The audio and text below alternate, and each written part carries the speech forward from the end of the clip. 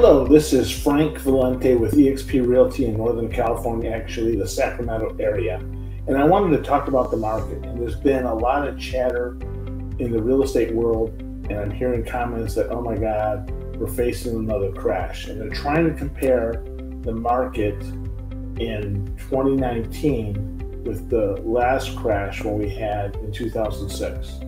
Now, the answer to me is no there's not a comparison. There's four significant reasons why we are not in the same market that we had in 2006. And number one is the number of defaults, the number of notice of sales, or in other words, the number of short sales, the number of foreclosures that are on the market is significant, significantly less than in 2006.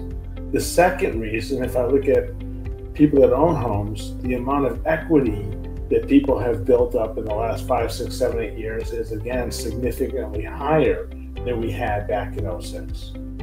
And the third reason is affordability. So if we look at income to debt ratios, people are actually in a better position today with affordability. So that's the third reason.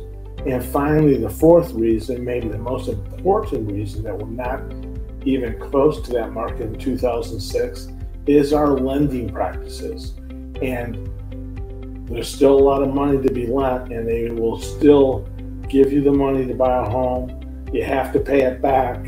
But what most importantly, they're going to make you demonstrate that you can pay it back. So those are the four reasons why we are not close to the real estate market in 2006. And again, the, we, we don't have the foreclose the short sales of foreclosures we have a lot more equity that's been built up, affordability in general, and finally, the lending practices. So if you have any questions on this or would like to comment, please comment below or shoot me a text or an email and have a great day.